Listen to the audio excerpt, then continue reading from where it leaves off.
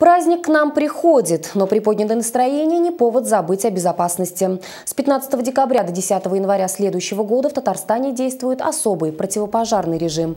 В этот период нарушения будут караться повышенными штрафами. Так, запуск фейерверков вблизи объектов промышленности, жилых домов или в местах большого скопления людей обойдется гражданам в сумму от 2 до 4 тысяч рублей.